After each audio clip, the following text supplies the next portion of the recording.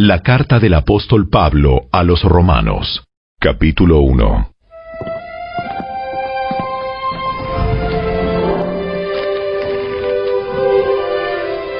Yo, Pablo, esclavo de Cristo Jesús y elegido por Dios para ser apóstol y enviado a predicar su buena noticia, escribo esta carta. Dios prometió esa buena noticia hace tiempo por medio de sus profetas en las sagradas escrituras. La buena noticia trata de su Hijo en su vida terrenal. Él fue descendiente del rey David y quedó demostrado que era el Hijo de Dios cuando fue resucitado de los muertos mediante el poder del Espíritu Santo. Él es Jesucristo, nuestro Señor. Por medio de Cristo, Dios nos ha dado a nosotros como apóstoles el privilegio y la autoridad de anunciar por todas partes a los gentiles lo que Dios ha hecho por ellos a fin de que crean en Él y lo obedezcan, lo cual dará gloria a su nombre. Ustedes están incluidos entre los gentiles que fueron llamados a pertenecer a Jesucristo. Les escribo a todos ustedes, los amados de Dios que están en Roma y son llamados a ser su pueblo santo que Dios nuestro Padre y el Señor Jesucristo les den gracia y paz. Ante todo les digo que mediante Jesucristo le doy gracias a mi Dios por todos ustedes, porque en todas partes del mundo se habla de la fe que tienen en Él. Dios sabe cuántas veces los recuerdo en mis oraciones Día y noche hago mención de ustedes y sus necesidades delante de Dios, a quien sirvo con todo mi corazón, anunciando la buena noticia acerca de su Hijo. Algo que siempre pido en oración es que Dios mediante se presente la oportunidad de ir por fin a verlos pues tengo muchos deseos de visitarlos para llevarles algún don espiritual que los ayude a crecer firmes en el Señor.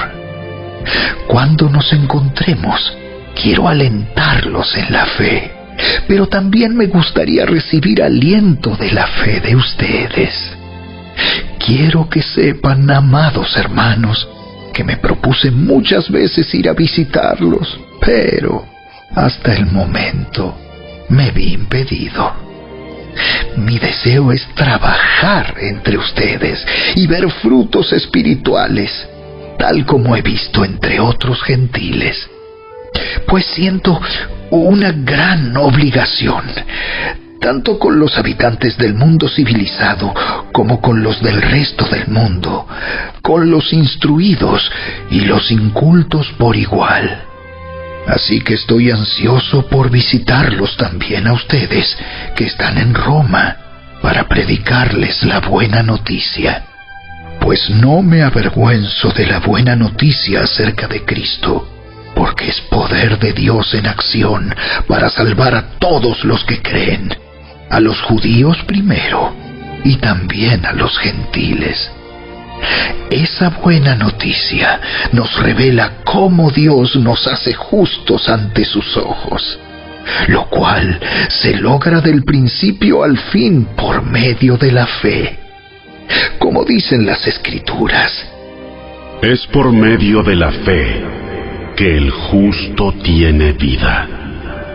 Pero Dios muestra su ira desde el cielo contra todos los que son pecadores y perversos, que detienen la verdad con su perversión. Ellos conocen la verdad acerca de Dios, porque Él se la ha hecho evidente, pues desde la creación del mundo, todos han visto los cielos y la tierra, por medio de todo lo que Dios hizo ellos pueden ver a simple vista las cualidades invisibles de Dios, su poder eterno y su naturaleza divina. así que no tienen ninguna excusa para no conocer a Dios. Es cierto, ellos conocieron a Dios, pero no quisieron adorarlo como Dios, ni darle gracias. En cambio, comenzaron a inventar ideas necias sobre Dios.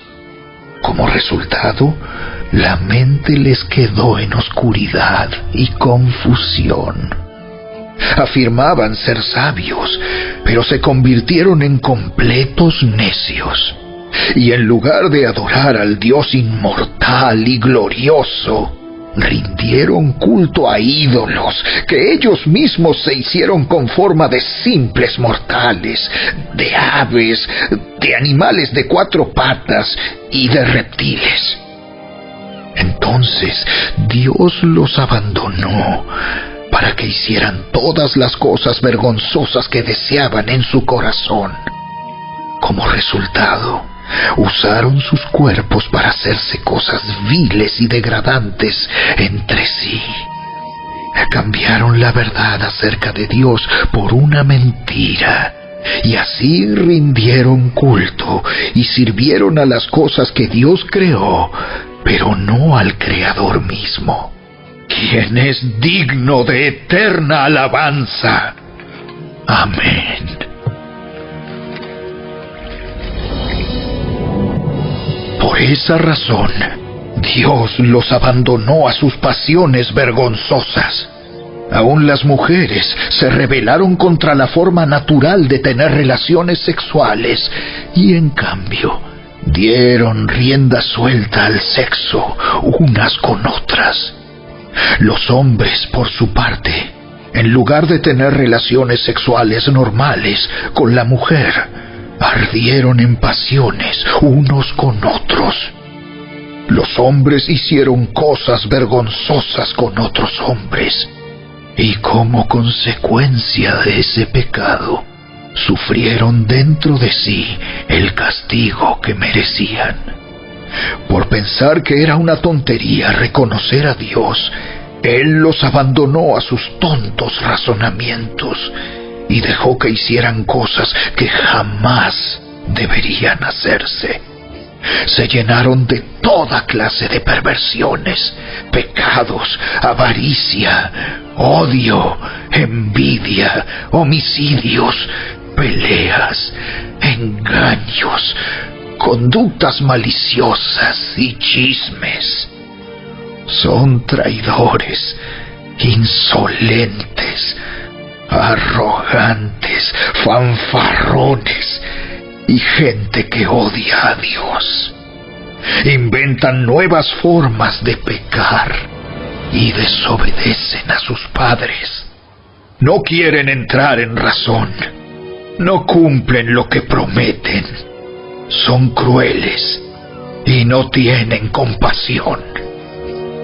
Saben bien que la justicia de Dios exige que los que hacen esas cosas merecen morir. Pero ellos igual las hacen. Peor aún, incitan a otros a que también las hagan.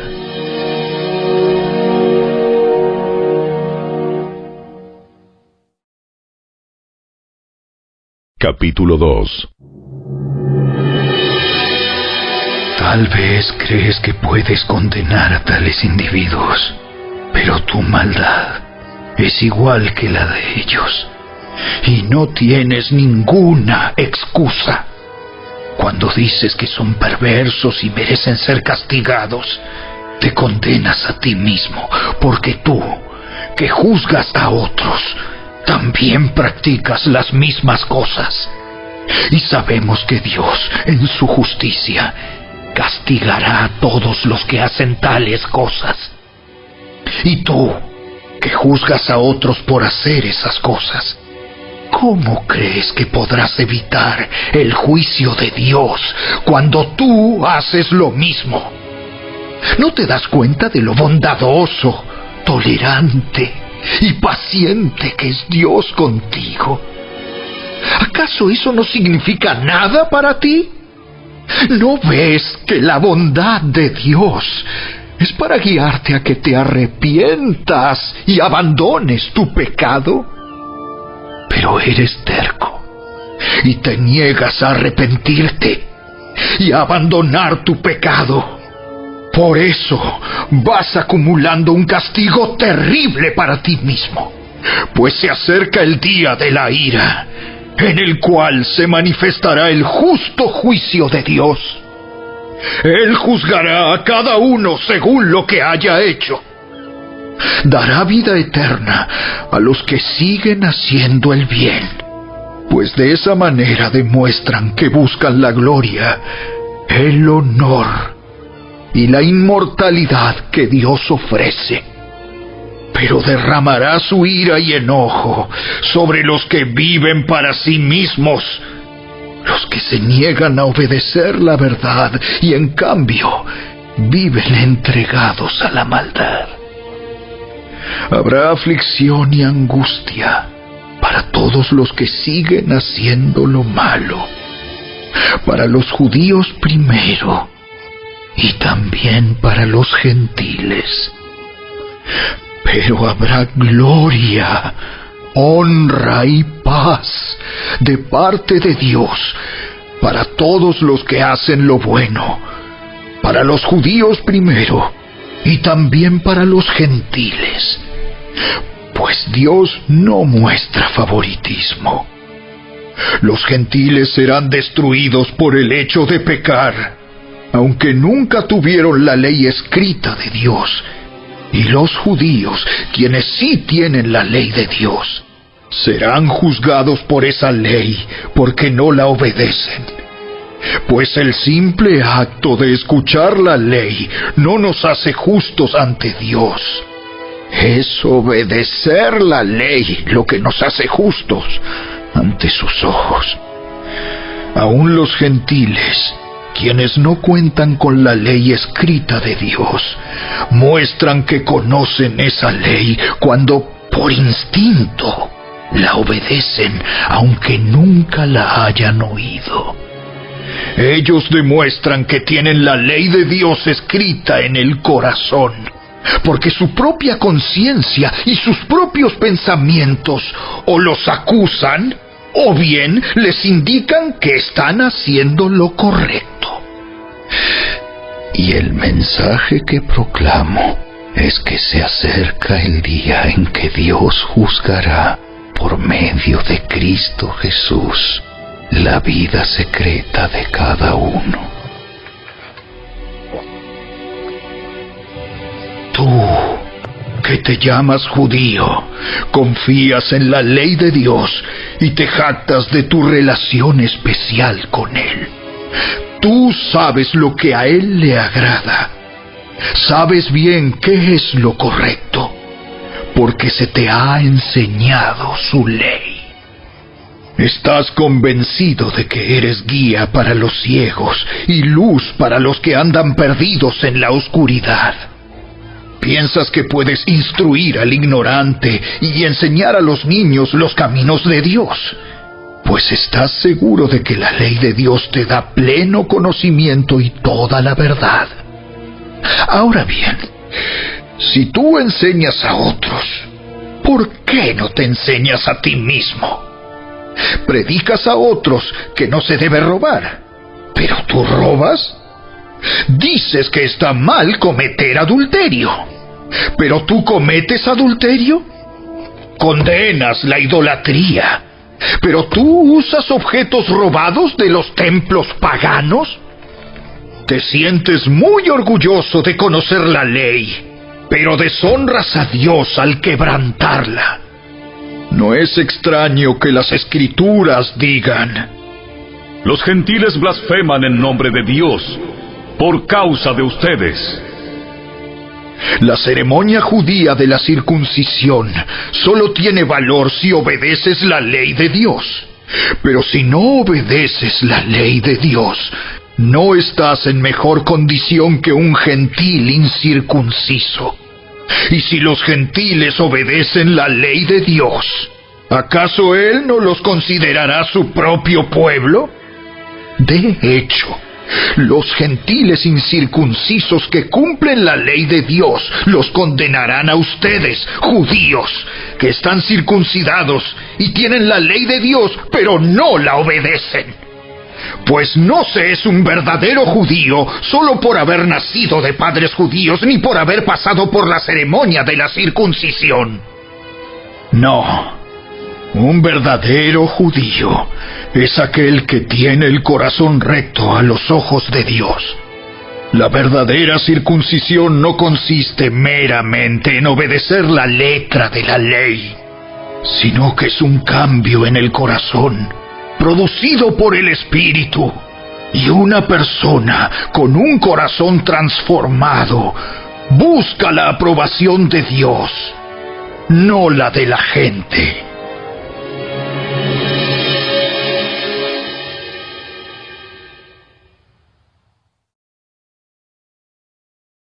Capítulo 3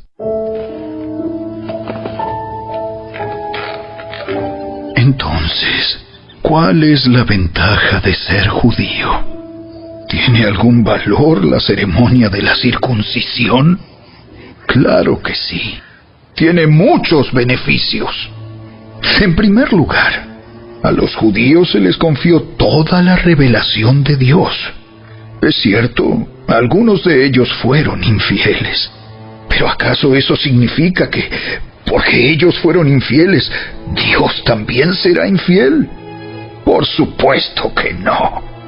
Aun cuando todos los demás sean mentirosos, Dios es veraz, como dicen las escrituras acerca de Él. Quedará demostrado que tienes razón en lo que dices y ganarás tu caso en los tribunales. Sin embargo, algunos podrían decir, nuestro pecado cumple un buen propósito, porque muestra a otros lo justo que es Dios. ¿No es injusto entonces que Dios nos castigue? Este no es más que un punto de vista humano. De ninguna manera. Si Dios no fuera completamente justo, ¿cómo tendría autoridad para juzgar al mundo? Sin embargo, alguien podría seguir argumentando, ¿por qué Dios me juzga como pecador si mi mentira realza su veracidad y le da más gloria a Él? Algunos incluso nos difaman asegurando que nosotros decimos, cuanto más pecamos, mejor. Los que dicen tales cosas merecen ser condenados. Ahora bien, llegamos a la conclusión de que los judíos somos mejores que los demás? Para nada. Tal como acabamos de demostrar, todos, sean judíos o gentiles, están bajo el poder del pecado. Como dicen las escrituras, no hay ni un solo justo, ni siquiera uno. Nadie es realmente sabio Nadie busca a Dios. Todos se desviaron. Todos se volvieron inútiles. No hay ni uno que haga lo bueno, ni uno solo. Lo que hablan es repugnante, como el mal olor de una tumba abierta. Su lengua está llena de mentiras. Veneno de serpientes gotea de sus labios. Su boca está llena de maldición y amargura. Se apresuran a matar Siempre hay destrucción y sufrimiento en sus caminos. No saben dónde encontrar paz. No tienen temor de Dios en absoluto.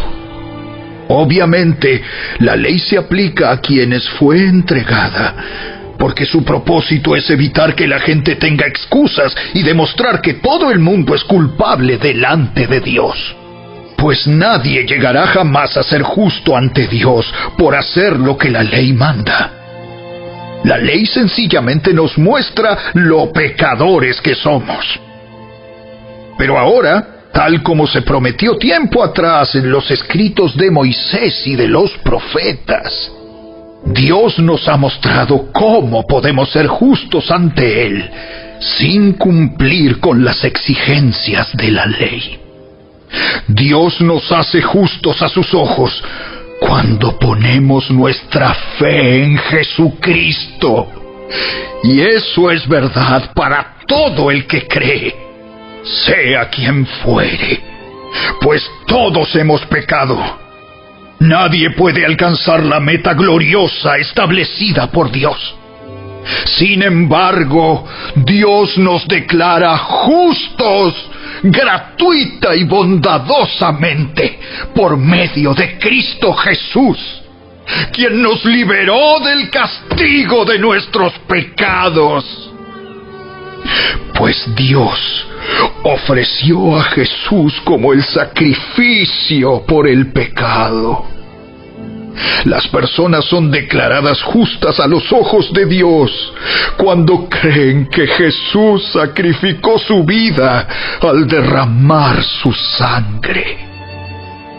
Ese sacrificio muestra que Dios actuó con justicia cuando se contuvo y no castigó a los que pecaron en el pasado, porque miraba hacia el futuro y de ese modo los incluiría en lo que llevaría a cabo en el tiempo presente.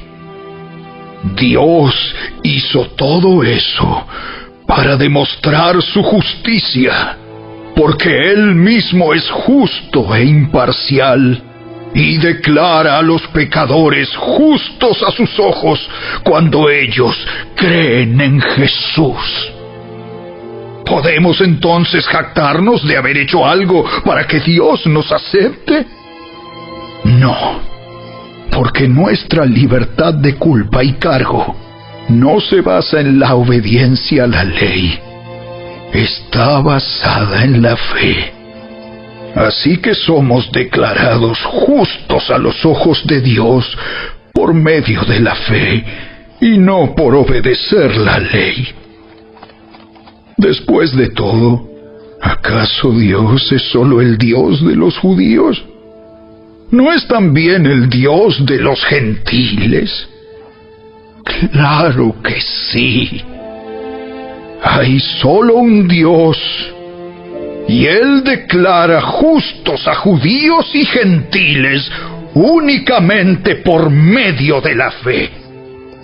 Entonces, si hacemos énfasis en la fe, ¿eso significa que podemos olvidarnos de la ley?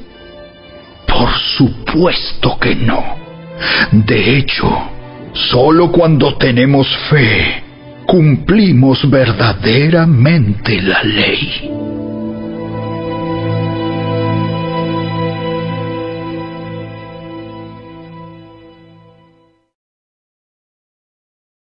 Capítulo 4 Humanamente hablando, Abraham fue el fundador de nuestra nación judía. ¿Qué descubrió él acerca de llegar a ser justo ante Dios? Que si sus buenas acciones le hubieran servido para que Dios lo aceptara, habría tenido de qué jactarse. Pero esa no era la forma de actuar de Dios pues las escrituras nos dicen, Abraham le creyó a Dios, y Dios lo consideró justo debido a su fe. Cuando la gente trabaja, el salario que recibe no es un regalo, sino algo que se ha ganado. Pero la gente no es considerada justa por sus acciones, sino por su fe en Dios, quien perdona a los pecadores. David también habló de lo mismo cuando describió la felicidad de los que son declarados justos sin hacer esfuerzos para lograrlo. Oh, qué alegría para aquellos a quienes se les perdona la desobediencia, a quienes se les cubren los pecados. Sí, qué alegría para aquellos a quienes el Señor les borró el pecado de su cuenta. Ahora bien, ¿Es esta bendición solamente para los judíos? ¿O es también para los gentiles incircuncisos? Como venimos diciendo, Dios consideró a Abraham justo debido a su fe. Pero ¿cómo sucedió esto? ¿Se le consideró justo solo después de ser circuncidado o fue antes? Es evidente que Dios aceptó a Abraham antes de que fuera circuncidado. La circuncisión era una señal de que Abraham ya tenía fe y de que Dios ya lo había aceptado y declarado justo aún antes de que fuera circuncidado. Por lo tanto, Abraham es el padre espiritual de los que tienen fe pero no han sido circuncidados. A ellos se les considera justos debido a su fe. Y Abraham también es el padre espiritual de los que han sido circuncidados pero solo si tienen la misma clase de fe que tenía Abraham antes de ser circuncidado. Obviamente, la promesa que Dios hizo de dar toda la tierra a Abraham y a sus descendientes no se basaba en la obediencia de Abraham a la ley, sino en una relación correcta con Dios, la cual viene por la fe. Si la promesa de Dios es solo para los que obedecen la ley, entonces la fe no hace falta y la promesa no tiene sentido. Pues la ley siempre trae castigo para los que tratan de obedecerla. La única forma de no violar la ley es no tener ninguna ley para violar. Así que la promesa se recibe por medio de la fe. Es un regalo inmerecido y vivamos o no de acuerdo con la ley de Moisés, todos estamos seguros de recibir esta promesa si tenemos una fe como la de Abraham, quien es el padre de todos los que creen. A eso se refieren las escrituras cuando citan lo que Dios le dijo. Te hice padre de muchas naciones. Eso sucedió porque Abraham creyó en el Dios que da vida a los muertos y crea cosas nuevas de la nada. Aun cuando no había motivos para tener esperanza, Abraham siguió teniendo esperanza porque había creído en que llegaría a ser el padre de muchas naciones, pues Dios le había dicho, Esa es la cantidad de descendientes que tendrás. Y la fe de Abraham no se debilitó a pesar de que él reconocía que por tener unos cien años de edad, su cuerpo ya estaba muy anciano para tener hijos, igual que el vientre de Sara. Abraham siempre creyó la promesa de Dios sin vacilar. De hecho, su fe se fortaleció aún más y así le dio gloria a Dios. Abraham estaba plenamente convencido de que Dios es poderoso para cumplir todo lo que promete. Y debido a su fe, Dios lo consideró justo. Y el hecho de que Dios lo considerara justo no fue solo para beneficio de Abraham, sino que quedó escrito también para nuestro beneficio porque nos asegura que Dios nos considerará justos a nosotros también, si creemos en Él, quien levantó de los muertos a Jesús nuestro Señor. Él fue entregado a la muerte por causa de nuestros pecados y resucitado para hacernos justos a los ojos de Dios.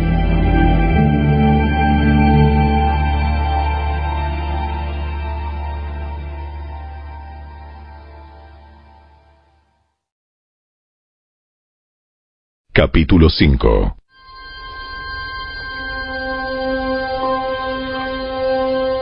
Por lo tanto, ya que fuimos declarados justos a los ojos de Dios por medio de la fe, tenemos paz con Dios gracias a lo que Jesucristo nuestro Señor hizo por nosotros. Debido a nuestra fe, Cristo nos hizo entrar en este lugar de privilegio inmerecido en el cual ahora permanecemos y esperamos con confianza y alegría participar de la gloria de Dios.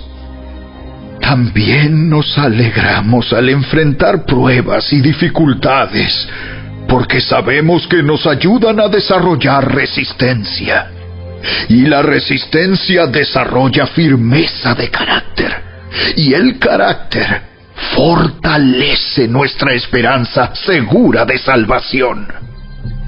Y esa esperanza no acabará en desilusión, pues sabemos con cuánta ternura nos ama Dios, porque nos ha dado el Espíritu Santo para llenar nuestro corazón con su amor. Cuando éramos totalmente incapaces de salvarnos, Cristo vino en el momento preciso y murió por nosotros, pecadores. Ahora bien, casi nadie se ofrecería a morir por una persona honrada, aunque tal vez alguien podría estar dispuesto a dar su vida por una persona extraordinariamente buena. Pero Dios mostró el gran amor que nos tiene al enviar a Cristo a morir por nosotros cuando todavía éramos pecadores. Entonces, como se nos declaró justos a los ojos de Dios por la sangre de Cristo, con toda seguridad, Él nos salvará de la condenación de Dios. Pues, como nuestra amistad con Dios quedó restablecida por la muerte de su Hijo cuando todavía éramos sus enemigos, con toda seguridad seremos salvos por la vida de su Hijo. Así que ahora podemos alegrarnos por nuestra nueva y maravillosa relación con Dios, gracias a que nuestro Señor Jesucristo nos hizo amigos de Dios.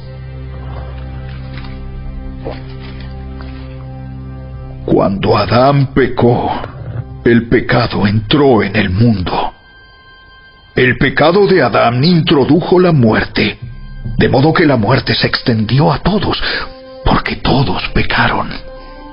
Es cierto, la gente ya pecaba aún antes de que se entregara la ley, pero no se le tomaba en cuenta como pecado porque todavía no existía ninguna ley para transgredir. Sin embargo, desde los tiempos de Adán hasta los de Moisés, todos murieron. Incluso los que no desobedecieron un mandamiento explícito de Dios como lo hizo Adán. Ahora bien, Adán es un símbolo, una representación de Cristo, quien aún tenía que venir.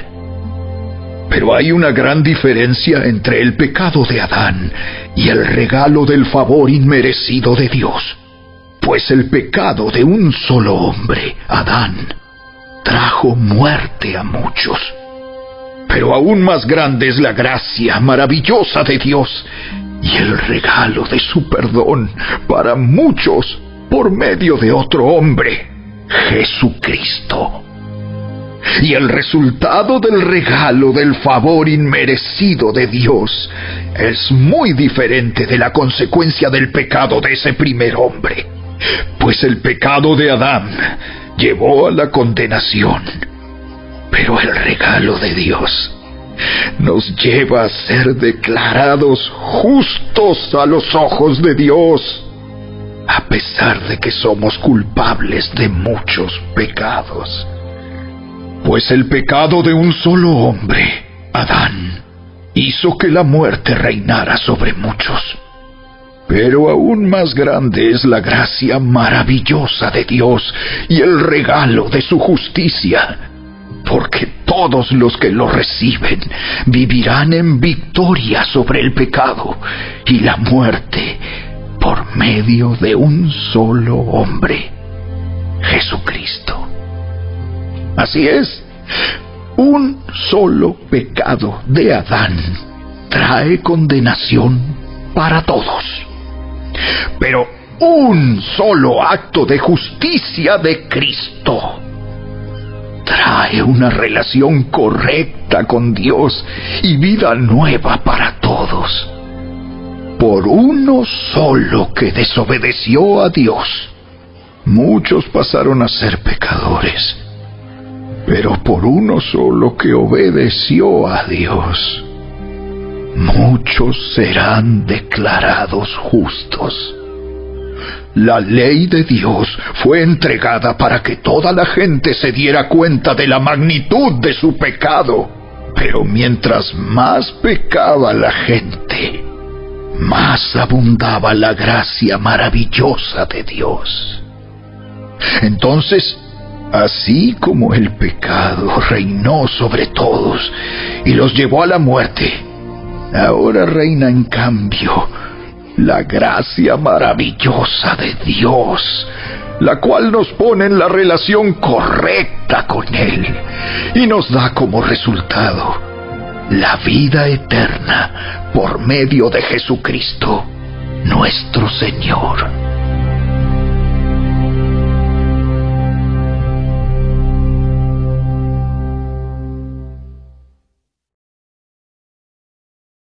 Capítulo 6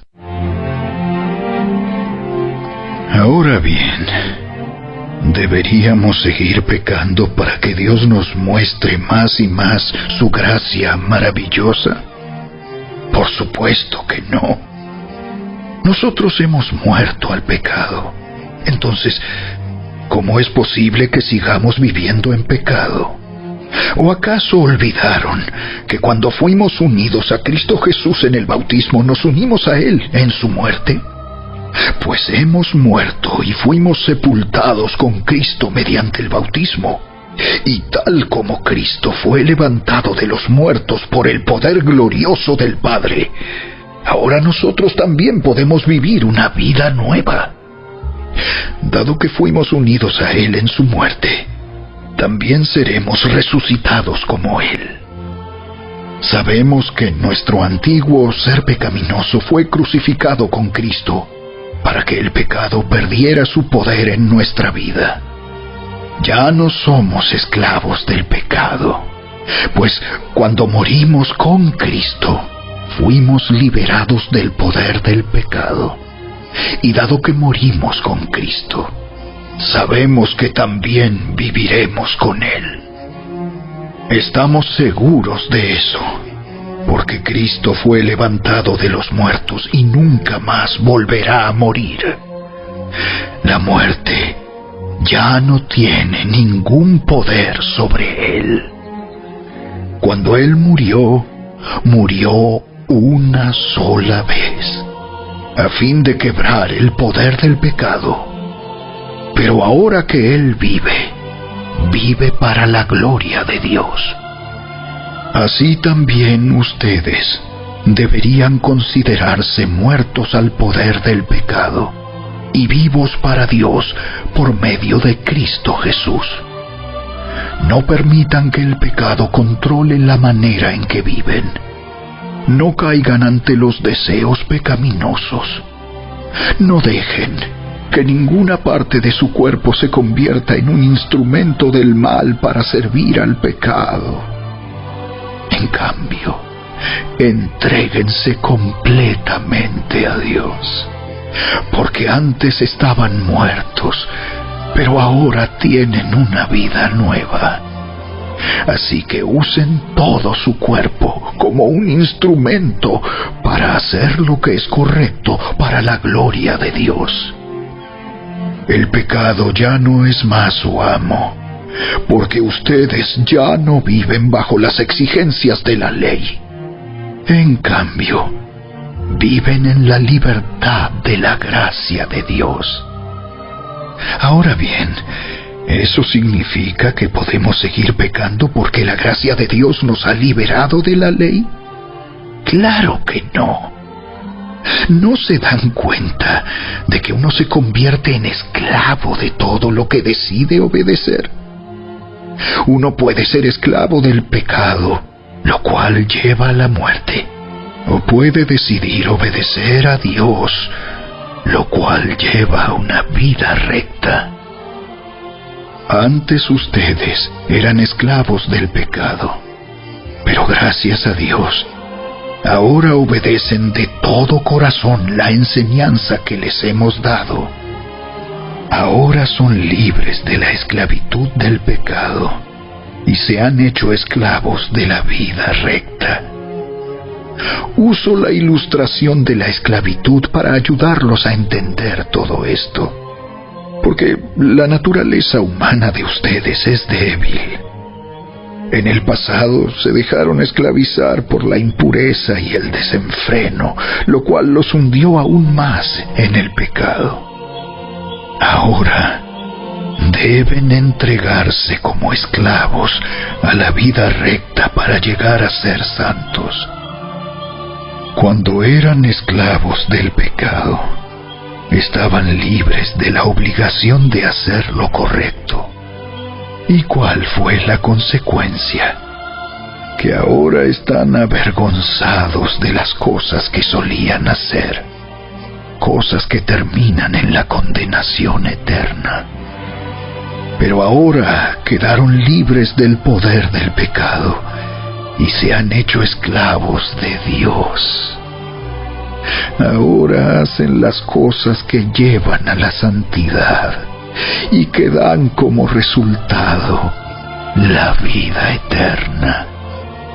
Pues la paga que deja el pecado es la muerte, pero el regalo que Dios da es la vida eterna por medio de Cristo Jesús nuestro Señor.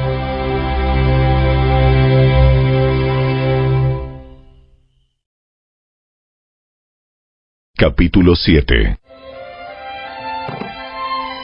Ahora bien, amados hermanos, ustedes que conocen la ley, ¿no saben que la ley se aplica solo mientras una persona está viva? Por ejemplo, cuando una mujer se casa, la ley la une a su marido mientras él viva. Pero si él muere, las leyes del matrimonio ya no se aplican a ella. Así que mientras su marido viva, ella cometería adulterio si se casara con otro hombre. Pero si el esposo muere, ella queda libre de esa ley y no comete adulterio cuando se casa de nuevo. Por lo tanto, mis amados hermanos, la cuestión es la siguiente. Ustedes murieron al poder de la ley cuando murieron con Cristo, y ahora están unidos a aquel que fue levantado de los muertos. Como resultado, podemos producir una cosecha de buenas acciones para Dios. Cuando vivíamos controlados por nuestra vieja naturaleza, los deseos pecaminosos actuaban dentro de nosotros y la ley despertaba esos malos deseos que producían una cosecha de acciones pecaminosas, las cuales nos llevaban a la muerte. Pero ahora fuimos liberados de la ley porque morimos a ella y ya no estamos presos de su poder. Ahora podemos servir a Dios, no según el antiguo modo que consistía en obedecer la letra de la ley, sino mediante uno nuevo, el de vivir en el Espíritu. Ahora bien, ¿acaso sugiero que la ley de Dios es pecaminosa? De ninguna manera. De hecho, fue la ley la que me mostró mi pecado. Yo nunca hubiera sabido que codiciar es malo si la ley no dijera no codicies. Pero el pecado usó ese mandamiento para despertar toda clase de deseos codiciosos dentro de mí. Si no existiera la ley, el pecado no tendría ese poder. Hubo un tiempo en que viví sin entender la ley. Sin embargo, cuando aprendí, por ejemplo, el mandamiento de no codiciar, el poder del pecado cobró vida. Y yo morí. Entonces me di cuenta de que los mandatos de la ley que supuestamente traían vida, trajeron en cambio muerte espiritual. El pecado se aprovechó de esos mandatos y me engañó. Usó los mandatos para matarme. Sin embargo, la ley en sí misma es santa y sus mandatos son santos, rectos y buenos. Pero ¿cómo puede ser? ¿Acaso la ley que es buena provocó mi muerte? Por supuesto que no. El pecado usó lo que era bueno a fin de lograr mi condena de muerte. Por eso podemos ver qué terrible es el pecado. se vale de los buenos mandatos de Dios para lograr sus propios fines malvados. Por lo tanto, el problema no es con la ley, porque la ley es buena y espiritual. El problema está en mí, porque soy demasiado humano, un esclavo del pecado.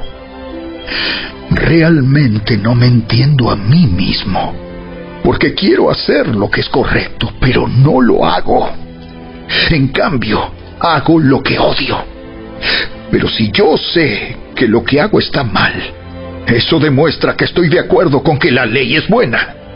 Entonces no soy yo el que hace lo que está mal, sino el pecado que vive en mí. Yo sé que en mí, es decir, en mi naturaleza pecaminosa, no existe nada bueno. Quiero hacer lo que es correcto, pero no puedo. Quiero hacer lo que es bueno, pero no lo hago. No quiero hacer lo que está mal, pero igual lo hago. Ahora, si hago lo que no quiero hacer, realmente no soy yo el que hace lo que está mal, sino el pecado que vive en mí. He descubierto el siguiente principio de vida, que cuando quiero hacer lo que es correcto, no puedo evitar hacer lo que está mal. Amo la ley de Dios con todo mi corazón pero hay otro poder dentro de mí que está en guerra con mi mente. Ese poder me esclaviza al pecado que todavía está dentro de mí. Soy un pobre desgraciado. ¿Quién me libertará de esta vida dominada por el pecado y la muerte? Gracias a Dios la respuesta está en Jesucristo, nuestro Señor. Así que ya ven, en mi mente de verdad quiero obedecer la ley de Dios, pero a causa de mi naturaleza pecaminosa, soy esclavo del pecado.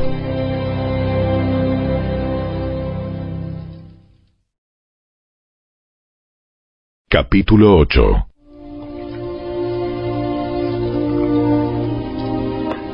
tanto, ya no hay condenación para los que pertenecen a Cristo Jesús.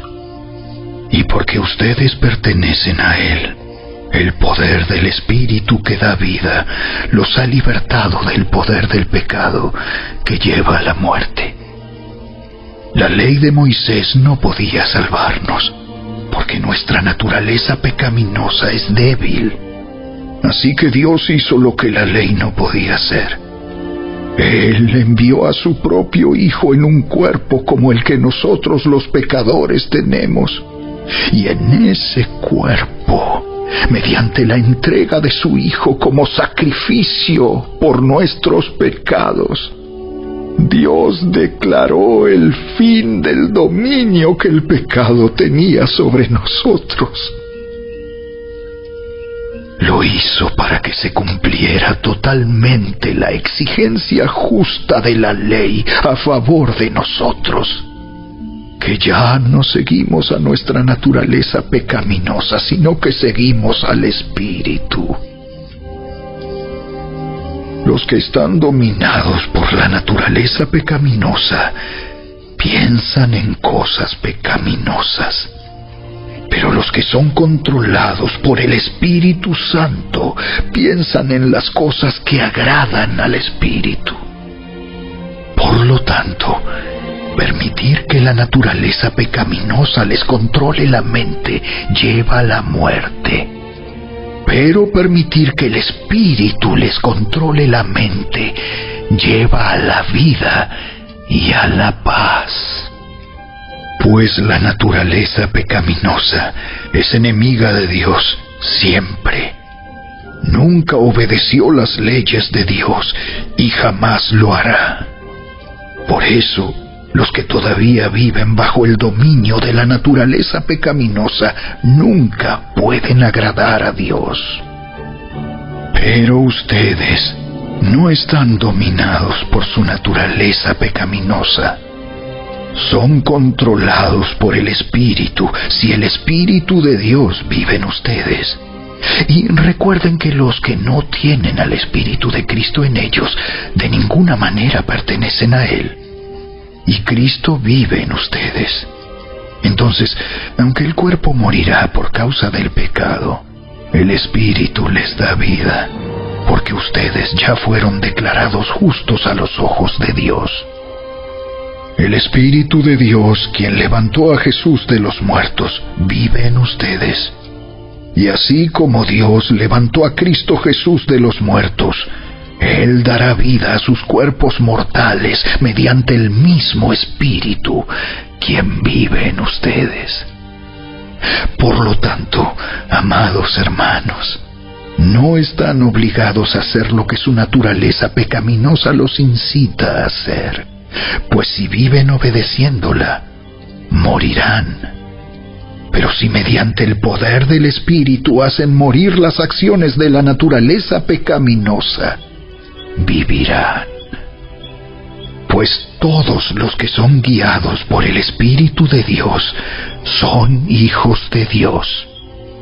Y ustedes no han recibido un espíritu que los esclavice al miedo. En cambio, recibieron el Espíritu de Dios cuando Él los adoptó como sus propios hijos. Ahora lo llamamos Abba, Padre, pues su Espíritu se une a nuestro Espíritu para confirmar que somos hijos de Dios. Así que como somos sus hijos, también somos sus herederos. De hecho, somos herederos junto con Cristo de la gloria de Dios. Pero si vamos a participar de su gloria, también debemos participar de su sufrimiento. Sin embargo, lo que ahora sufrimos no es nada comparado con la gloria que Él nos revelará más adelante, pues toda la creación espera con anhelo el día futuro en que Dios revelará quiénes son verdaderamente sus hijos. Contra su propia voluntad, toda la creación quedó sujeta a la maldición de Dios.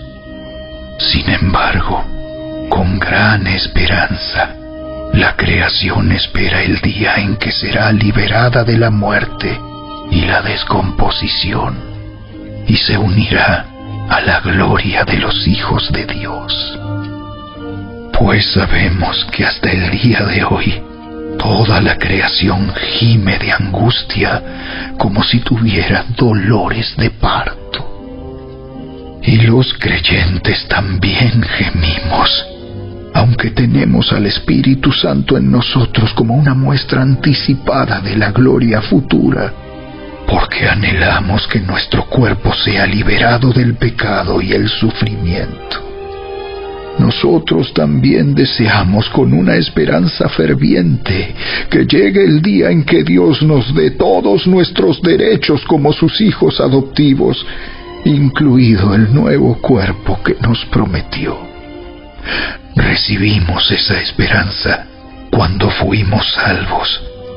Si uno ya tiene algo, no necesita esperarlo.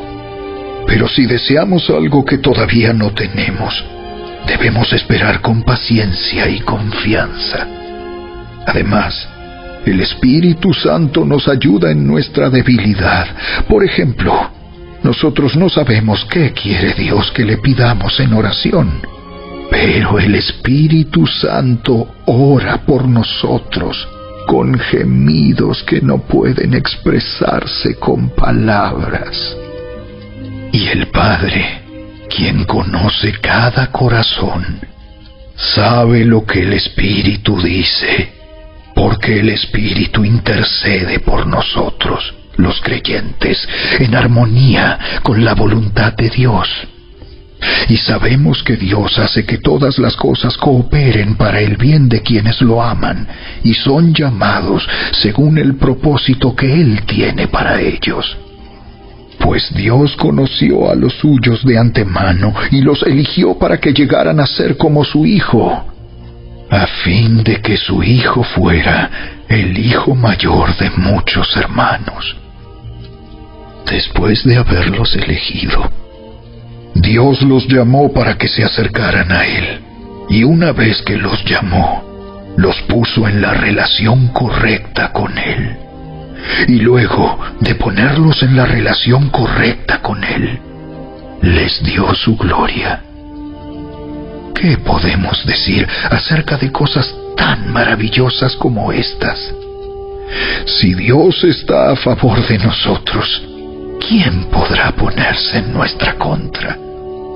Si Dios no se guardó ni a su propio Hijo, sino que lo entregó por todos nosotros, ¿no nos dará también todo lo demás?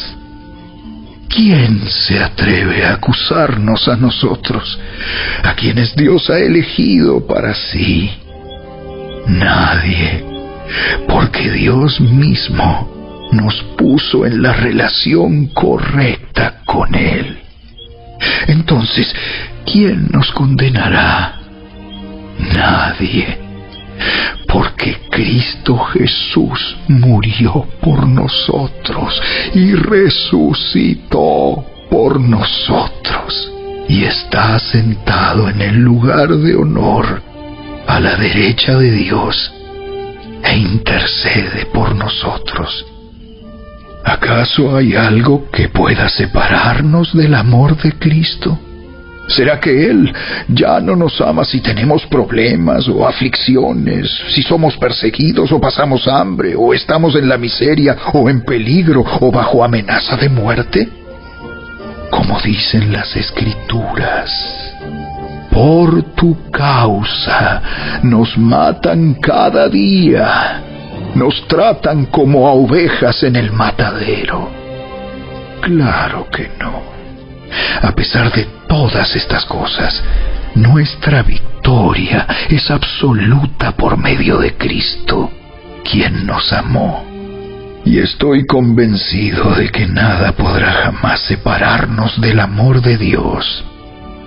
Ni la muerte, ni la vida, ni ángeles, ni demonios, ni nuestros temores de hoy, ni nuestras preocupaciones de mañana ni siquiera los poderes del infierno pueden separarnos del amor de Dios. Ningún poder en las alturas ni en las profundidades, de hecho, nada en toda la creación podrá jamás separarnos del amor de Dios que está revelado en Cristo Jesús, nuestro Señor.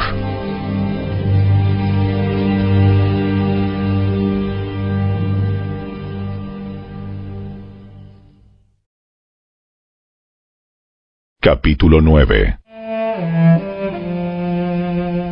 Con Cristo de testigo, hablo con toda veracidad mi conciencia y el Espíritu Santo lo confirman.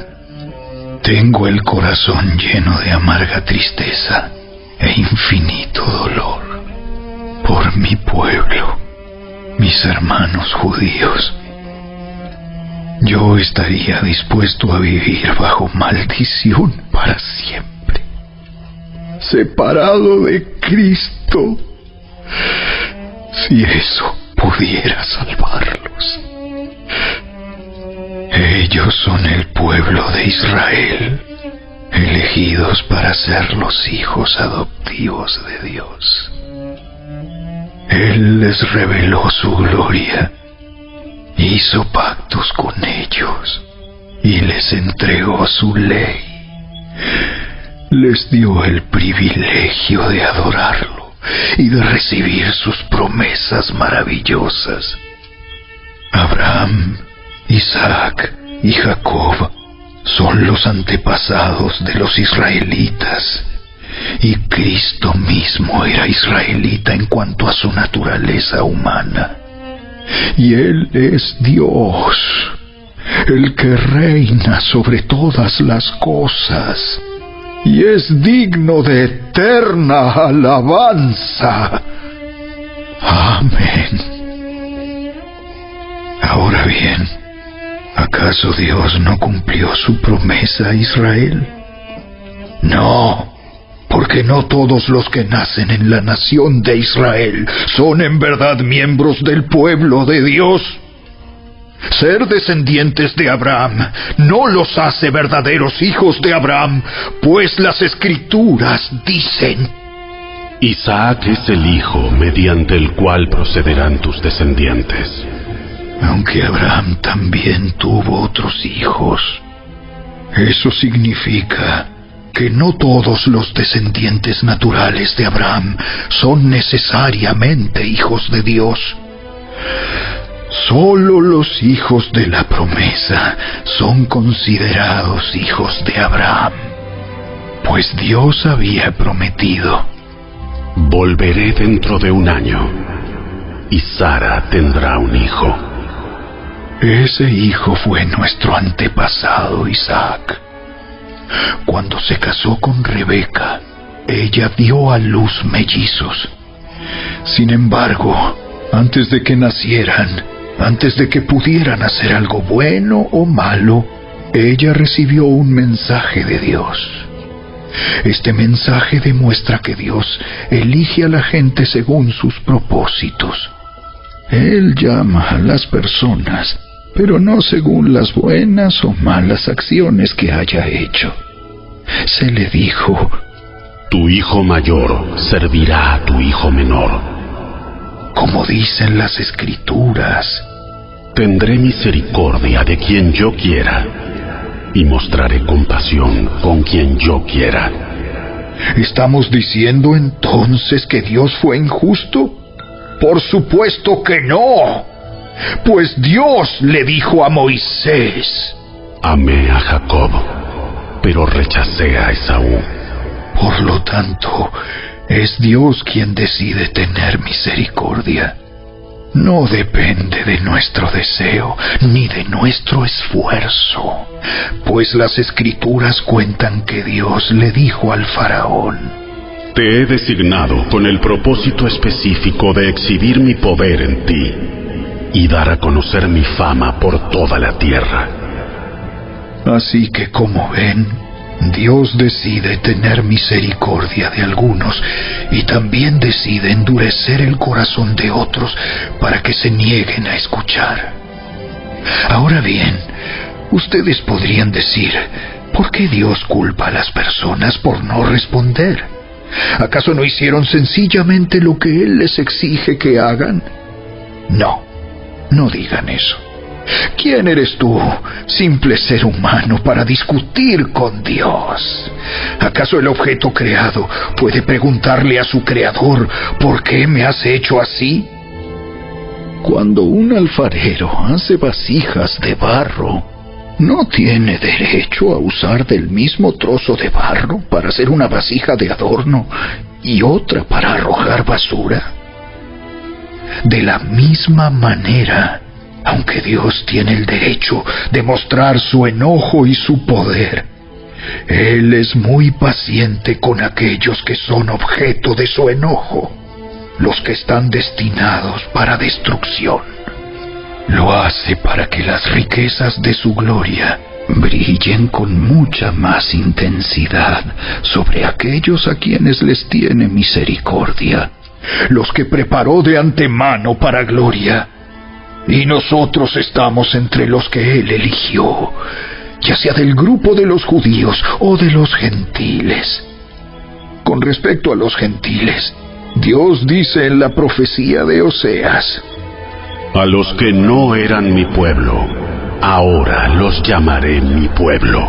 Llamaré a los que antes no amaba. y también dice, En el lugar donde se les dijo, ustedes no son mi pueblo, allí serán llamados hijos del Dios viviente.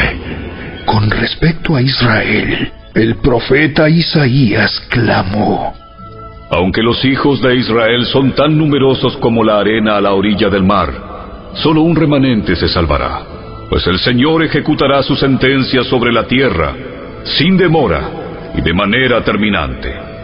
Y lo mismo dijo Isaías en otro lugar. Si el Señor de los ejércitos celestiales no hubiera perdonado la vida a unos cuantos de nuestros hijos, habríamos sido exterminados como Sodoma y destruidos como Gomorra. ¿Qué significa todo esto? Aunque los gentiles no trataban de seguir las normas de Dios, fueron declarados justos a los ojos de Dios. Y eso sucedió por medio de la fe. Pero los hijos de Israel, que se esforzaron tanto en cumplir la ley para llegar a ser justos ante Dios, nunca lo lograron. ¿Por qué no? Porque trataban de hacerse justos ante Dios por cumplir la ley en lugar de confiar en Él. Tropezaron con la gran piedra en su camino Dios se lo advirtió en las escrituras cuando dijo, Pongo en Jerusalén una piedra que hace tropezar a muchos, una roca que los hace caer. Pero todo el que confíe en Él jamás será avergonzado.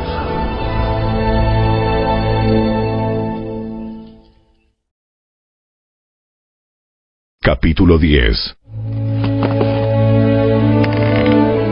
hermanos, el profundo deseo de mi corazón y mi oración a Dios es que los israelitas lleguen a ser salvos. Yo sé que ellos tienen un gran entusiasmo por Dios, pero es un fervor mal encausado, pues no entienden la forma en que Dios hace justas a las personas ante Él. Se niegan a aceptar el modo de Dios y en cambio se aferran a su propio modo de hacerse justos ante Él tratando de cumplir la ley. Sin embargo, Cristo ya cumplió el propósito por el cual se entregó la ley. Como resultado, a todos los que creen en Él se les declara justos a los ojos de Dios. Pues Moisés escribe que la ley exige obediencia a todos sus mandatos para que una persona llegue a ser justa ante Dios. Pero el modo de la fe para hacernos justos ante Dios dice, no digas en tu corazón, ¿quién subirá al cielo para hacer bajar a Cristo a la tierra? Ni tampoco digas, ¿quién descenderá al lugar de los muertos para volver a Cristo de nuevo a la vida? En realidad, dice, el mensaje está muy al alcance de la mano. Está en tus labios y en tu corazón. Y ese mensaje es el mismo mensaje que nosotros predicamos acerca de la fe. Si declaras abiertamente que Jesús es el Señor y crees en tu corazón que Dios lo levantó de los muertos, serás salvo. Pues es por creer en tu corazón que eres declarado justo a los ojos de Dios. Y es por declarar abiertamente tu fe que eres salvo. Como nos dicen las escrituras, todo el que confíe en Él jamás será avergonzado. No hay diferencia entre los judíos y los gentiles en ese sentido. Ambos tienen al mismo Señor, quien da con generosidad a todos los que lo invocan. Pues todo el que invoque el nombre del Señor será salvo. Pero ¿cómo pueden ellos invocarlo para que los salve si no creen en Él? ¿Y cómo pueden creer en Él si nunca han oído de Él? ¿Y cómo pueden oír de Él a menos que alguien se lo diga? ¿Y cómo irá alguien a contarles sin ser enviado? Por eso, las escrituras dicen, qué hermosos son los pies de los mensajeros que traen buenas noticias. Sin embargo, no todos aceptan la buena noticia, porque el profeta Isaías dijo, Señor, ¿Quién ha creído nuestro mensaje? Así que la fe viene por oír. Es decir, por oír la buena noticia acerca de Cristo. Pero pregunto, ¿de verdad el pueblo de Israel oyó el mensaje? Claro que sí. El mensaje se ha difundido por toda la tierra y sus palabras por todo el mundo. Vuelvo a preguntar, ¿entendió realmente el pueblo de Israel? Por supuesto que sí, pues incluso en el tiempo de Moisés, Dios dijo, Despertaré sus celos con un pueblo que ni siquiera es una nación. Provocaré su enojo por medio de gentiles insensatos. Luego Isaías habló audazmente de parte de Dios y dijo, Me encontraron personas que no me buscaban. Me mostré a los que no preguntaban por mí. Pero con respecto a Israel, Dios dijo, Todo el día les abrí mis brazos, pero ellos fueron desobedientes y rebeldes.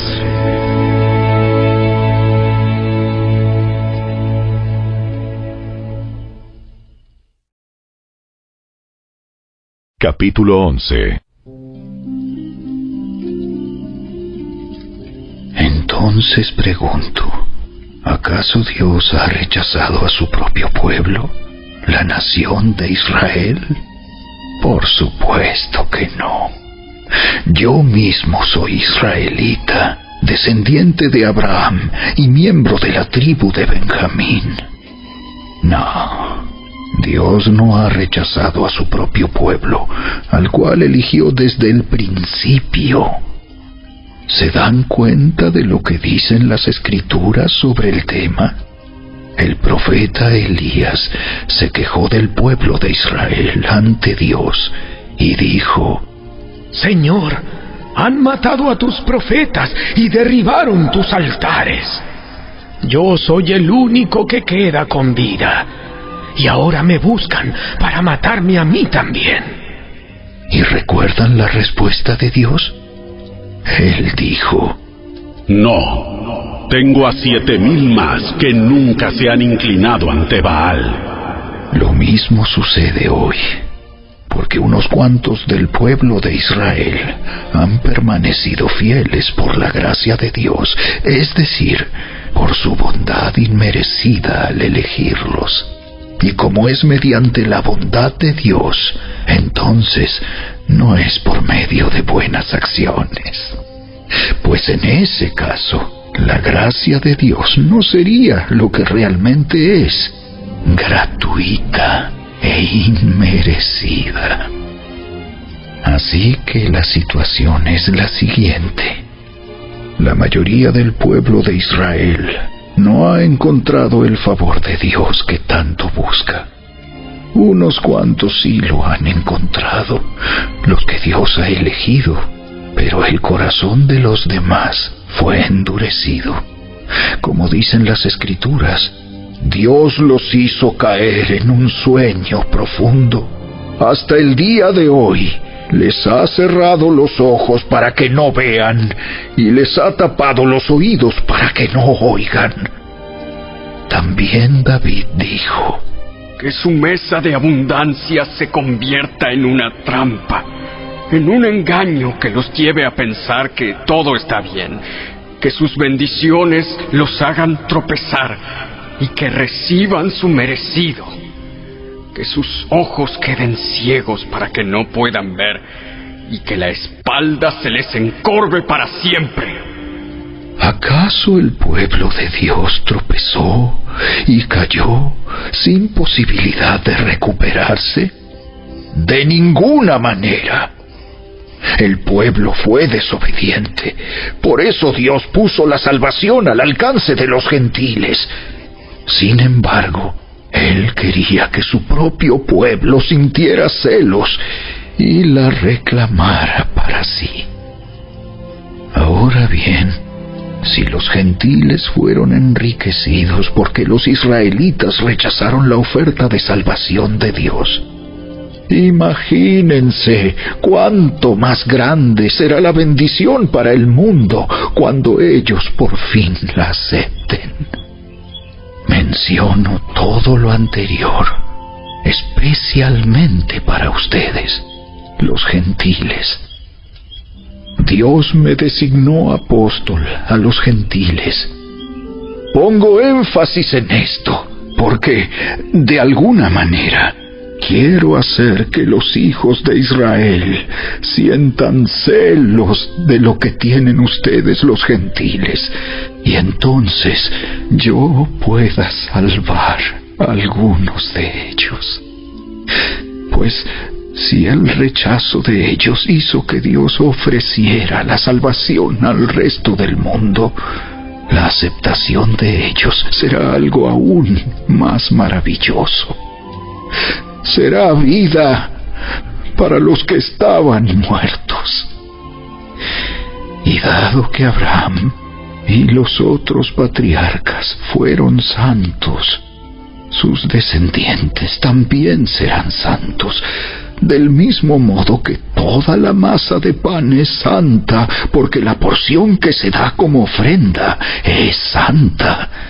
Pues si las raíces del árbol son santas, las ramas también lo serán. Algunas ramas del árbol de Abraham, algunos del pueblo de Israel, han sido arrancadas, y ustedes, los gentiles, que eran ramas de un olivo silvestre, fueron injertados. Así que ahora ustedes también reciben la bendición que Dios prometió a Abraham y a sus hijos, con lo cual comparten con ellos el alimento nutritivo que proviene de la raíz del olivo especial de Dios. Así que no se jacten de haber sido injertados para reemplazar a las ramas que fueron arrancadas. Ustedes son solo una rama, no son la raíz. Tal vez digas, bueno, esas ramas fueron arrancadas para darme lugar a mí. Es cierto, pero recuerda, esas ramas fueron arrancadas porque no creyeron en Cristo. Y tú estás allí porque sí crees. Así que no te consideres tan importante. Más bien, teme lo que podría suceder. Pues si Dios no perdonó a las ramas originales, tampoco te perdonará a ti. Fíjate en que Dios es bondadoso, pero también es severo. Es severo con los que desobedecen, pero será bondadoso contigo si sigues confiando en su bondad. En cambio, si dejas de confiar, tú también serás arrancado por completo. Y si el pueblo de Israel abandona su incredulidad, volverá a ser injertado, pues Dios tiene poder para volver a injertarlo en el árbol. Tú, por naturaleza, eras una rama cortada de un olivo silvestre. Por lo tanto, si Dios estuvo dispuesto a ir en contra de la naturaleza al injertarte en un árbol cultivado, Él estará mucho más dispuesto a injertar las ramas originales en el árbol al que pertenecen. Mis amados hermanos, quiero que entiendan este misterio, para que no se vuelvan orgullosos de ustedes mismos parte del pueblo de Israel tiene el corazón endurecido. Pero eso solo durará hasta que se complete el número de gentiles que aceptarán a Cristo. Y entonces todo Israel será salvo, como dicen las escrituras. El que rescata vendrá de Jerusalén y apartará a Israel de la maldad y mi pacto con ellos es que quitaré sus pecados. Muchos del pueblo de Israel ahora son enemigos de la buena noticia. Y eso los beneficia a ustedes, los gentiles, porque Él eligió a los antepasados Abraham, Isaac y Jacob, pues los dones de Dios y su llamado son irrevocables. Ustedes, los gentiles, antes eran rebeldes contra Dios, pero cuando el pueblo de Israel se rebeló contra Él, Dios tuvo misericordia de ustedes y no de ellos. Ahora ellos son los rebeldes y a ustedes Dios les mostró su misericordia para que ellos también participen de la misericordia de Dios. Pues Dios encarceló a todos en la desobediencia para poder tener misericordia de todos. Ah, qué grande es la riqueza, la sabiduría y el conocimiento de Dios. Es realmente imposible para nosotros entender sus decisiones y sus caminos. Pues, ¿quién puede conocer los pensamientos del Señor? ¿Quién sabe lo suficiente para aconsejarlo? ¿Y quién le ha entregado tanto para que Él tenga que devolvérselo? Pues todas las cosas provienen de Él y existen por su poder y son para su gloria. A Él sea toda la gloria por siempre. Amén.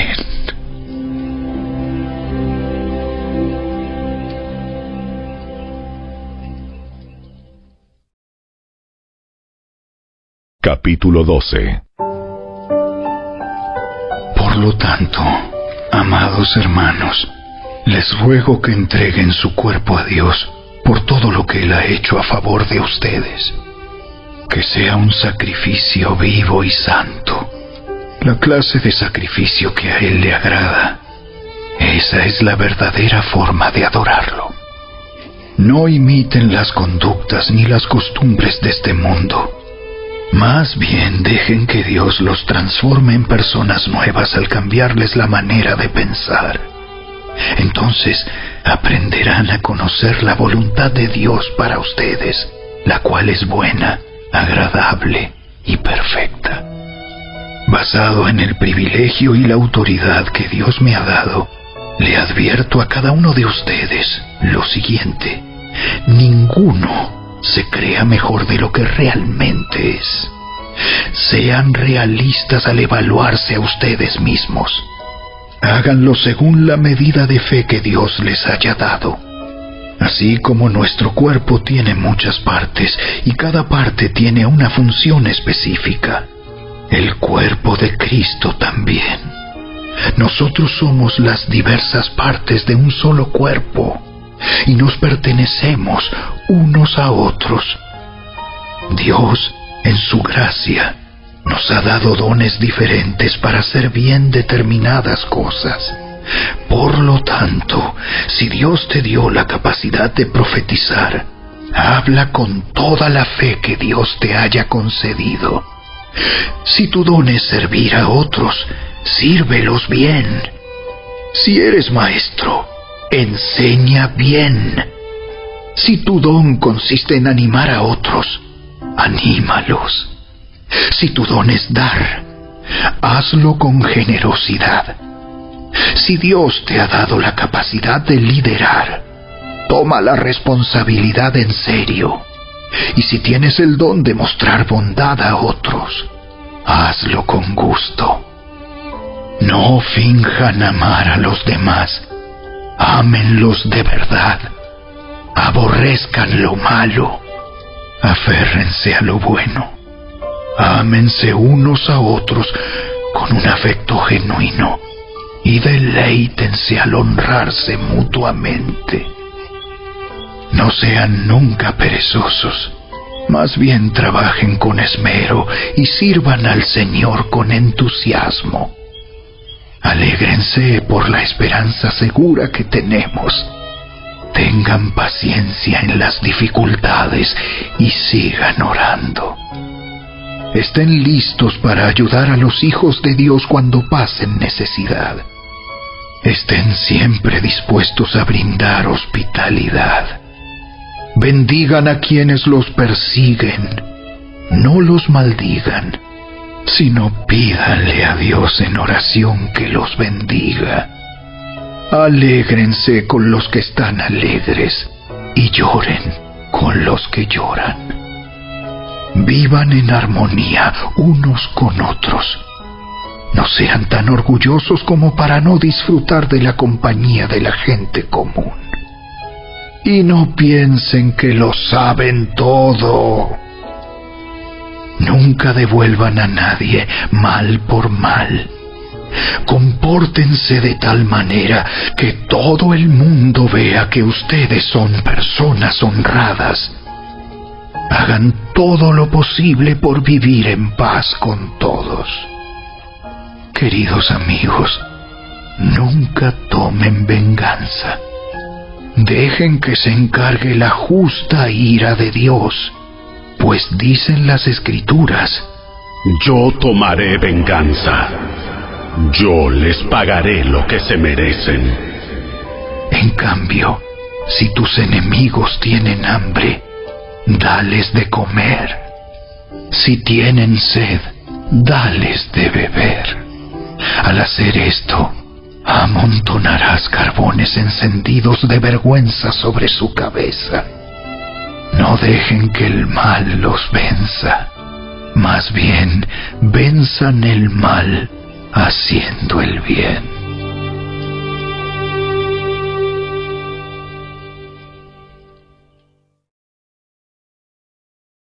Capítulo 13 Toda persona debe someterse a las autoridades de gobierno, pues toda autoridad proviene de Dios, y los que ocupan puestos de autoridad están allí colocados por Dios. Por lo tanto, cualquiera que se rebele contra la autoridad se revela contra lo que Dios ha instituido y será castigado. Pues las autoridades no infunden temor a los que hacen lo que está bien, sino en los que hacen lo que está mal. ¿Quieres vivir sin temor a las autoridades? Haz lo correcto y ellas te honrarán. Las autoridades están al servicio de Dios para tu bien. Pero si estás haciendo algo malo, por supuesto que deberías tener miedo, porque ellas tienen poder para castigarte. Están al servicio de Dios para cumplir el propósito específico de castigar a los que hacen lo malo. Por eso tienes que someterte a ellas no solo para evitar el castigo, sino para mantener tu conciencia limpia. Por esas mismas razones, también paguen sus impuestos, pues los funcionarios de gobierno necesitan cobrar su sueldo. Ellos sirven a Dios con lo que hacen. Ustedes den a cada uno lo que le deben. Paguen los impuestos y demás aranceles a quien corresponda y den respeto y honra a los que están en autoridad. No deban nada a nadie, excepto el deber de amarse unos a otros.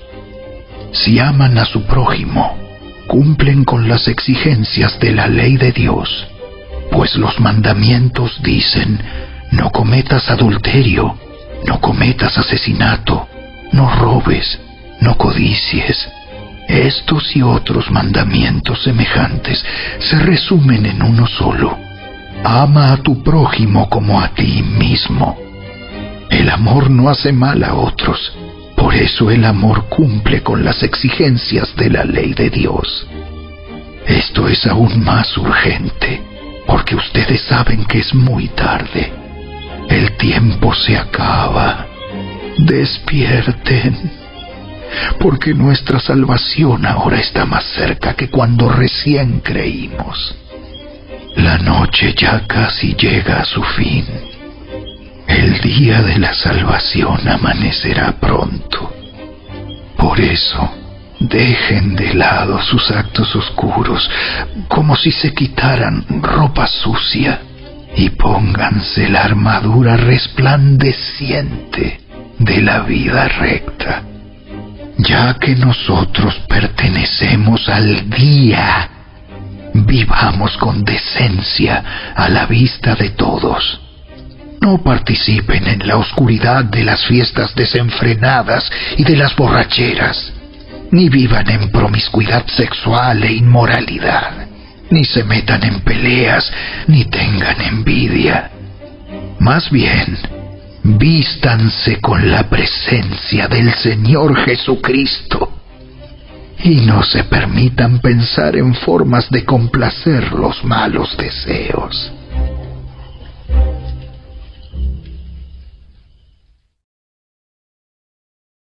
Capítulo 14 Acepten a los creyentes que son débiles en la fe y no discutan acerca de lo que ellos consideran bueno o malo. Por ejemplo, un creyente piensa que está bien comer de todo, pero otro creyente con una conciencia sensible come solo verduras. Los que se sienten libres para comer de todo no deben menospreciar a los que no sienten la misma libertad y los que no comen determinados alimentos no deben juzgar a los que sí los comen, porque a esos hermanos Dios los ha aceptado. ¿Quién eres tú para juzgar a los sirvientes de otro? Su amo dirá si quedan en pie o caen, y con la ayuda del Señor quedarán en pie y recibirán la aprobación de Él. Del mismo modo, algunos piensan que un día es más sagrado que otro, mientras que otros creen que todos los días son iguales. Cada uno debería estar plenamente convencido de que el día que elija es aceptable. Los que adoran al Señor un día en particular lo hacen para honrarlo a Él. Los que comen toda clase de alimentos lo hacen para honrar al Señor, ya que le dan gracias a Dios antes de comer. Y los que se niegan a comer ciertos alimentos también quieren agradar al Señor y le dan gracias a Dios. Pues no vivimos para nosotros mismos, ni morimos para nosotros mismos. Si vivimos, es para honrar al Señor. Y si morimos, es para honrar al Señor. Entonces, tanto si vivimos como si morimos, pertenecemos al Señor. Cristo murió y resucitó con este propósito, ser Señor de los vivos y de los muertos. ¿Por qué entonces juzgas a otro creyente? ¿Por qué menosprecias a otro creyente? Recuerda que todos estaremos delante del tribunal de Dios, pues dicen las escrituras. Tan cierto como que yo vivo Toda rodilla se doblará ante mí, y toda lengua declarará lealtad a Dios. Es cierto, cada uno de nosotros tendrá que responder por sí mismo ante Dios. Así que dejemos de juzgarnos unos a otros. Por el contrario, propónganse vivir de tal manera que no causen tropiezo ni caída a otro creyente. Yo sé y estoy convencido por la autoridad del Señor Jesús que ningún alimento en sí mismo está mal. Pero si alguien piensa que está mal comerlo, entonces para esa persona está mal. Si otro creyente se angustia por lo que tú comes, entonces no actúas con amor si lo comes. No permitas que lo que tú comes destruya a alguien por quien Cristo murió entonces no serás criticado por hacer algo que tú crees que es bueno. Pues el reino de Dios no se trata de lo que comemos o bebemos, sino de llevar una vida de bondad, paz y alegría en el Espíritu Santo. Si tú sirves a Cristo con esa actitud, agradarás a Dios y también tendrás la aprobación de los demás. Por lo tanto, procuremos que haya armonía en la iglesia y tratemos de edificarnos unos a otros. No destruyas la obra de Dios a causa de lo que comes, Recuerda que todos los alimentos están permitidos. Lo malo es comer algo que haga tropezar a otro. Es mejor no comer carne, ni beber vino, ni hacer ninguna otra cosa que pudiera causar que otro creyente tropiece. Tal vez crees que no hay nada malo en lo que haces, pero manténlo entre tú y Dios. Benditos son los que no se sienten culpables por hacer algo que han decidido que es correcto. Pero si tienes dudas acerca de si debes o no comer algo en particular, entonces es pecado comerlo, pues no eres fiel a tus convicciones. Si haces algo que crees que está mal, pecas.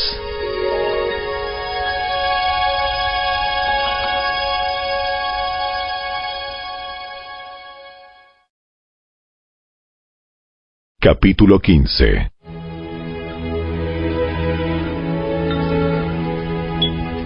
Los que somos fuertes debemos tener consideración de los que son sensibles a este tipo de cosas. No debemos agradarnos solamente a nosotros mismos. Deberíamos ayudar a otros a hacer lo que es correcto y edificarlos en el Señor, pues ni siquiera Cristo vivió para agradarse a sí mismo.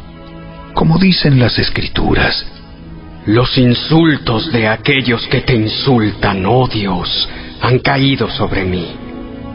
Tales cosas se escribieron hace tiempo en las escrituras para que nos sirvan de enseñanza. Y las escrituras nos dan esperanza y ánimo mientras esperamos con paciencia hasta que se cumplan las promesas de Dios. Que Dios, quien da esa paciencia y ese ánimo, los ayude a vivir en plena armonía unos con otros, como corresponde a los seguidores de Cristo Jesús. Entonces, todos ustedes podrán unirse en una sola voz para dar alabanza y gloria a Dios, el Padre de nuestro Señor Jesucristo. Por lo tanto, acéptense unos a otros, tal como Cristo los aceptó a ustedes, para que Dios reciba la gloria. Recuerden que Cristo vino a servir a los judíos para demostrar que Dios es fiel a las promesas que les hizo a los antepasados de ellos. También vino para que los gentiles le dieran la gloria a Dios por la misericordia que Él tuvo con ellos. A eso se refería el salmista cuando escribió, Por eso te alabaré entre los gentiles, cantaré alabanzas a tu nombre. y en otro lugar está escrito, Alégrense con su pueblo, oh gentiles.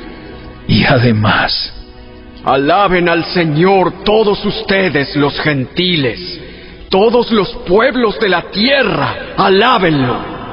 y en otro lugar, Isaías dijo, El heredero del trono de David vendrá y reinará sobre los gentiles.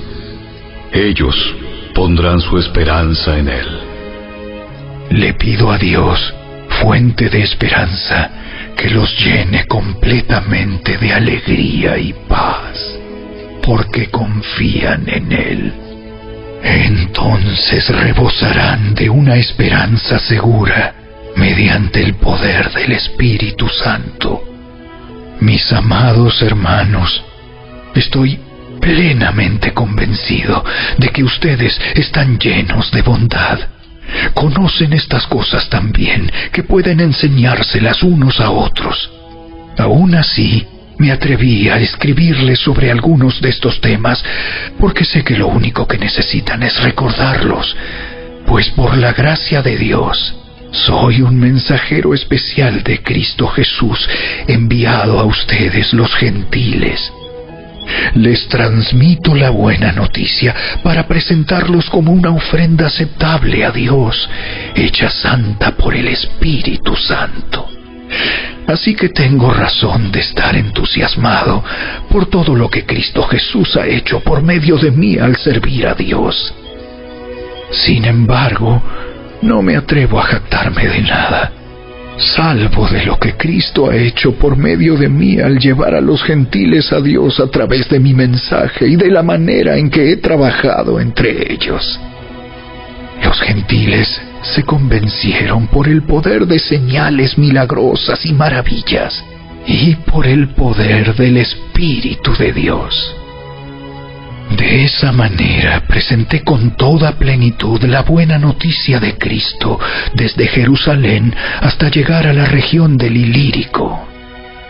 Mi gran aspiración siempre ha sido predicar la buena noticia donde nunca antes se ha oído el nombre de Cristo y no donde otro ya ha comenzado una iglesia. He seguido el plan que mencionan las escrituras, donde dice, los que nunca se enteraron de él, verán, y los que nunca oyeron de él, entenderán. De hecho, mi visita a ustedes se demoró tanto, precisamente porque estuve predicando en esos lugares. Ahora que terminé mi trabajo en estas regiones y después de todos estos largos años de espera, tengo muchos deseos de ir a verlos. Estoy pensando viajar a España. Cuando lo haga, me detendré en Roma y luego de disfrutar de la compañía de ustedes por un breve tiempo, podrán ayudarme con lo necesario para mi viaje. Sin embargo, antes de visitarlos, debo ir a Jerusalén para llevar una ofrenda a los creyentes de allí. Pues les cuento, los creyentes de Macedonia y Acaya con entusiasmo juntaron una ofrenda para los creyentes de Jerusalén que son pobres. Lo hicieron con gusto, porque se sienten en deuda con ellos. Dado que los gentiles recibieron las bendiciones espirituales de la buena noticia por parte de los creyentes de Jerusalén, sienten que lo menos que pueden hacer por ellos a cambio es ayudarlos económicamente. En cuanto yo entregue ese dinero y termine esa buena acción de los gentiles, iré a visitarlos a ustedes de camino a España. Cuando vaya, Estoy seguro de que Cristo bendecirá en abundancia el tiempo que pasemos juntos. Mis amados hermanos, les pido encarecidamente en el nombre de nuestro Señor Jesucristo que se unan a mi lucha orando a Dios por mí. Háganlo por el amor que me tienen ese amor que el Espíritu Santo les ha dado. Pídanle que me libre de los que están en Judea, que se niegan a obedecer a Dios. Pídanle también que los creyentes de allí estén dispuestos a aceptar la ofrenda que llevo a Jerusalén. Entonces, por la voluntad de Dios, podré ir a verlos con un corazón alegre y nos alentaremos unos a otros. Y que Dios, quien nos da su paz, esté con todos ustedes. Amén.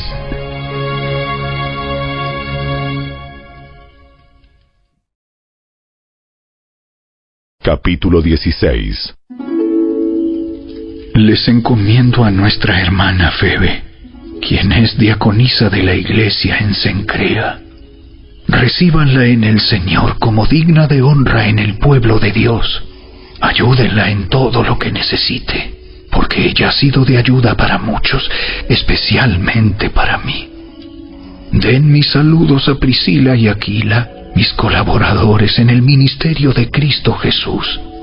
De hecho, ellos una vez arriesgaron la vida por mí yo les estoy agradecido, igual que todas las iglesias de los gentiles.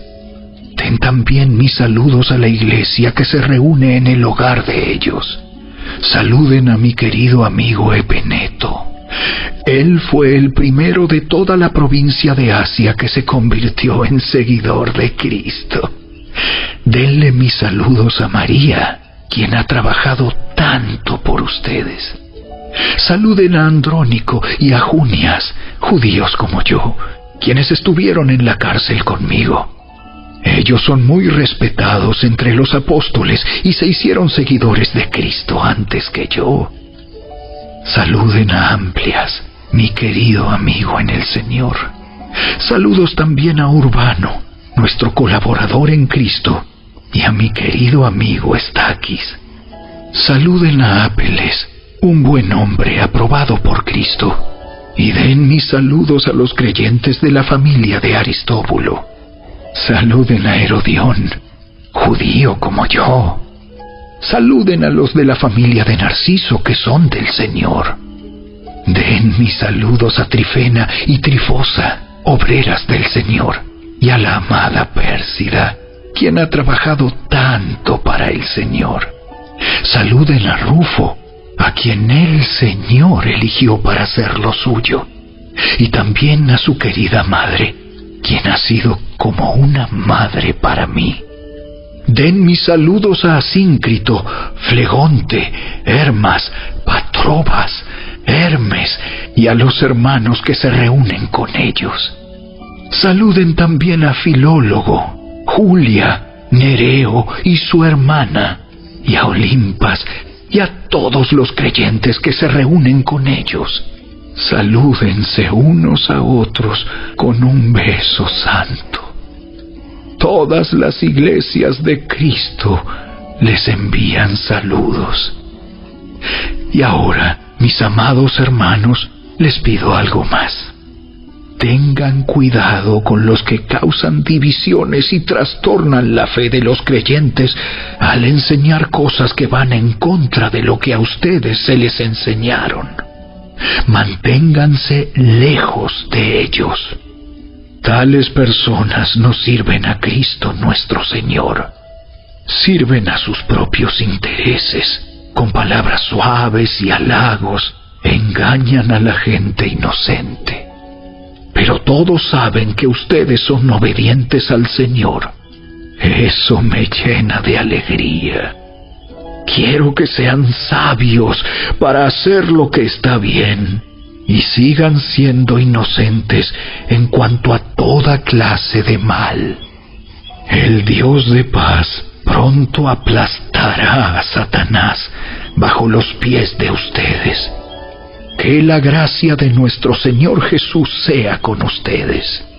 Timoteo, mi compañero de trabajo, les manda saludos, igual que Lucio, Jasón y Sosípater, judíos como yo. Yo, Tercio, quien escribo esta carta de parte de Pablo, también les envío mis saludos como uno de los seguidores del Señor. Los saluda Gallo él es quien me hospeda y también recibe en su casa a toda la iglesia. Les envía saludos Erasto, el tesorero de la ciudad, y también el hermano cuarto. Que toda la gloria sea para Dios, quien puede fortalecerlos tal como expresa la buena noticia. En ese mensaje acerca de Jesucristo se ha revelado su plan para ustedes, los gentiles. Un plan que estuvo guardado en secreto desde el principio del tiempo. Pero ahora, tal como lo predijeron los profetas y el Dios eterno lo ha ordenado, ese mensaje se da a conocer a todos los gentiles en todas partes para que ellos también puedan creer y obedecerlo a Él. Toda la gloria sea para el único sabio Dios eternamente por medio de Jesucristo. Amén.